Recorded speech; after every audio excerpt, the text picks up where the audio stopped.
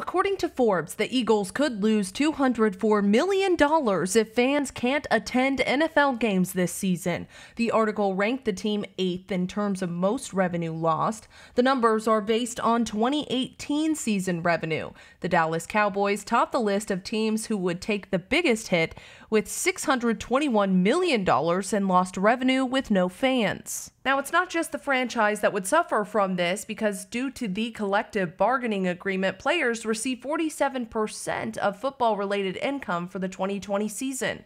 Katie Johnston for CBS Philly.